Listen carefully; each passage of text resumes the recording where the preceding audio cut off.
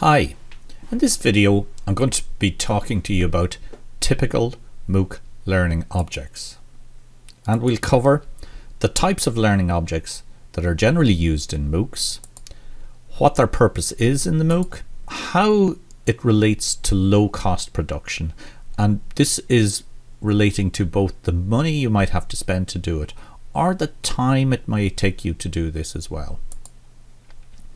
Now, during this video, I'd appreciate it if you could take some notes because what we want to do is we want you to think about as we present each learning object type whether this might be suitable for the type of MOOC that you might build.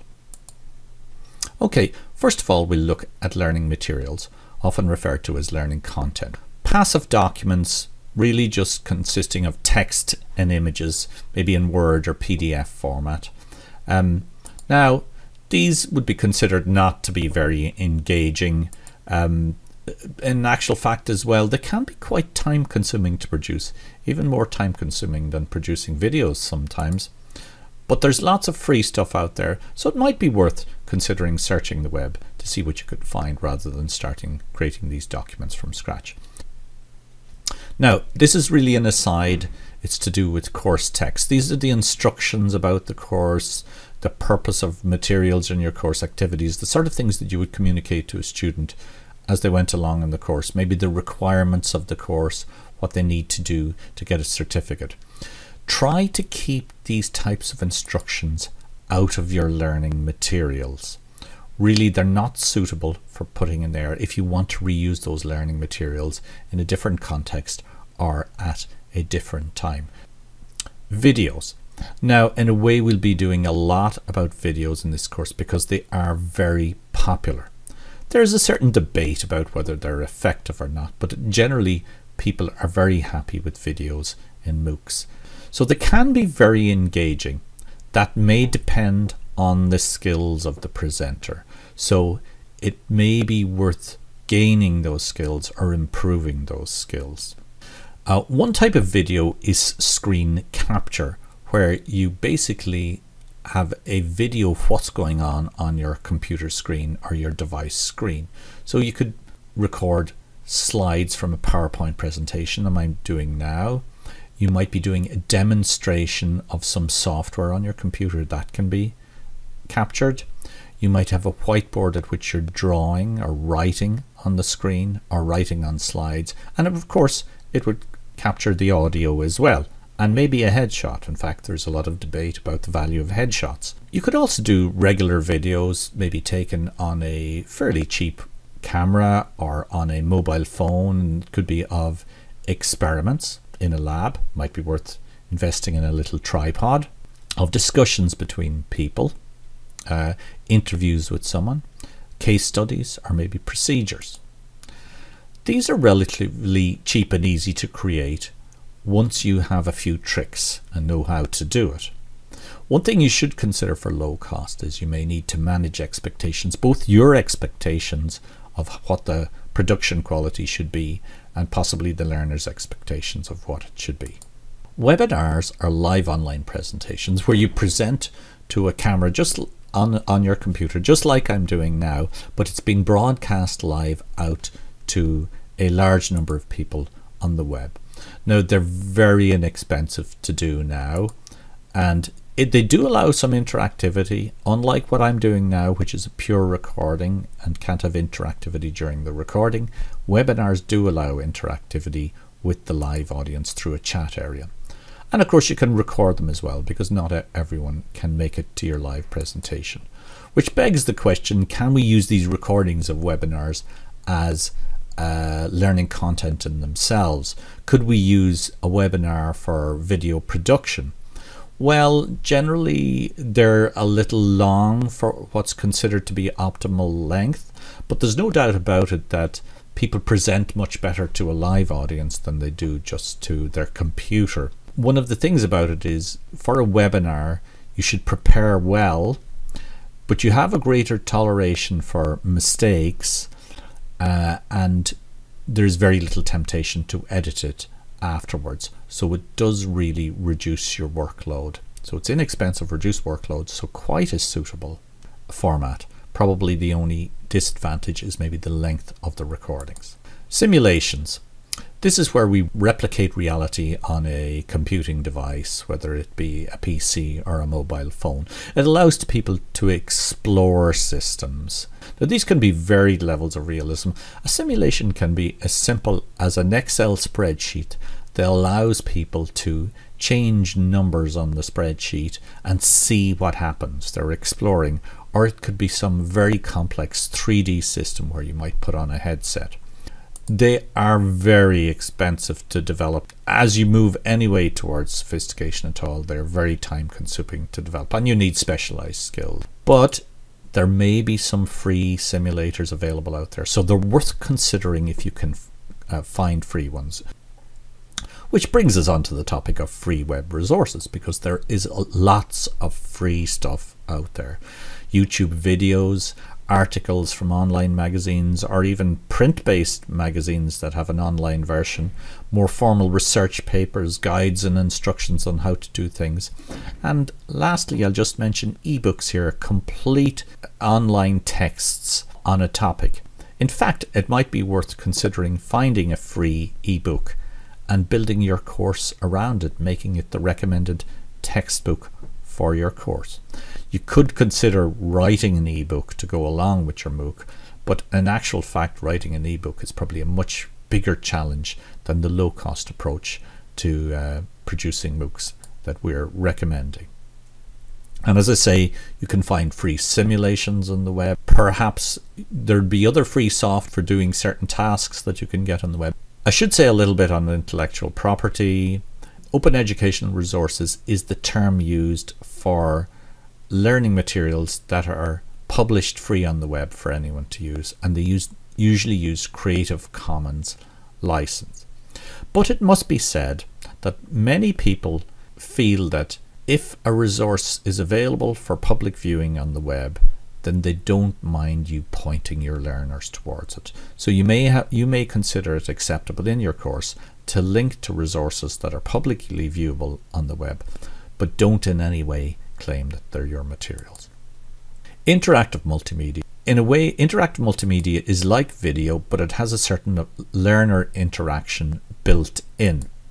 Now, this can vary in sophistication from uh, just simple quiz questions in the middle of a presentation. In fact, you would barely call that interactive multimedia, but it could be um, it could be more sophisticated where the learning path varies as well.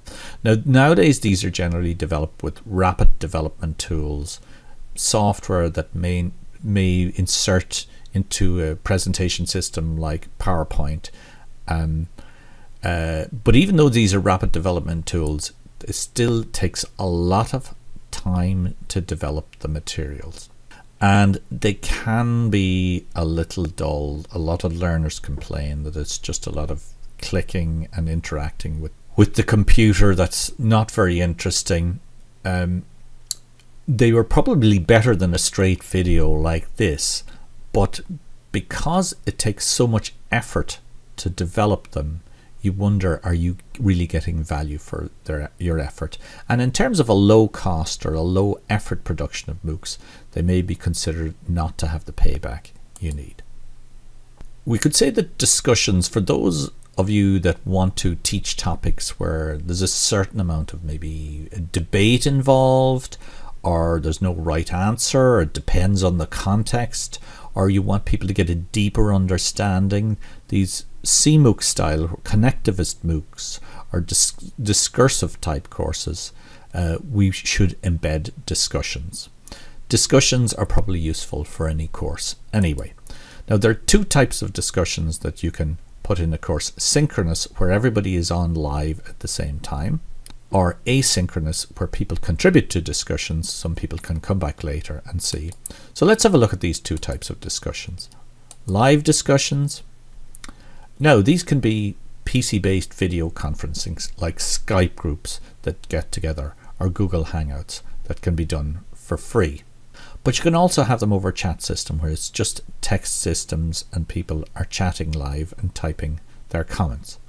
Now, there's obviously issues around how big a group can you deal with in a live discussion. And how can you organize those groups? That's quite a challenge. Asynchronous discussions are not live. They're usually done on discussion boards or discussion fora. There is no issue with the availability of people because people can come on whenever they want and respond to what is ever up there on the discussion board. A lot of people consider these to be educationally more effective because it gives people the time to consider their responses to questions or to other people's uh, comments on the discussion board. They're certainly low cost to set up, although you may say that there is some costs or effort involved in monitoring the discussions. You can host them internally on most platforms, but you may choose to host them externally on Facebook or some other system. Now, the question with forums is how can you get the learners actively involved in the forums? And that is quite a challenge. Assessment. Let's have a look at some assessment objects you might have. Auto-graded objective tests. Now these are generally known as multiple choice quizzes, but you can have other types of answers other than multiple choice, and they're more properly called objective tests insofar as the co computer does the grading, so there's no human subjectivity in the grading of the test.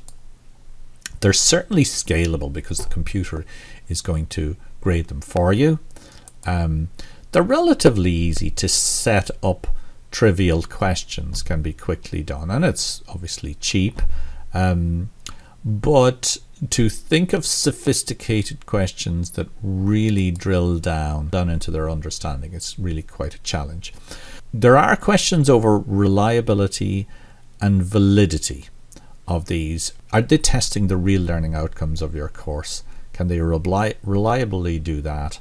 And are they testing the right things? But one of the things that should be considered is quizzes for motivation. So to some extent, if you use them on a fairly shallow basis where they just test some recall, it's a way of checking out have people really watched the videos or read the materials that you've supplied. Essays. Well, obviously, essays are a more sophisticated assessment technique and very suitable for really assessing a deeper understanding and particularly where there is no right answer, some debate or some applicability in different contexts. They're relatively cheap to set up, but how are you going to assess these at scale? Are they really suitable for MOOCs at all? People have been talking about robo or robot grading or automated grading of essays, but that's not available yet and uh, certainly not available in a low cost context. However, peer assessment may be coming to the rescue. Peer assessment is where students assess or learners assess each other's work. And you can use this for essays and other types of written or objects even that are created. If somebody does a video, they can submit it and it can be assessed by their peers. It's certainly low cost to set up and low cost to operate because the learners themselves are going to assess and grade each other. But is it reliable? Is it accurate? Well, research has shown that it is quite accurate. And of course, if you're really worried about it, if you're working on large scale, chances are somebody will get several very poor uh, evaluations or poorly done evaluations and you might consider having an appeal system for the few of those that turn up. But it should be remembered that peer assessment is an extra learning opportunity because people get to see other. So to finish off now, I suppose I should give you an activity and what I wanted, as I said at the start, I would have liked if you'd taken some notes and considered the different learning objects and considered whether you would use that learning object in your MOOC. And feel free to discuss this in the discussion forum. Bye for now.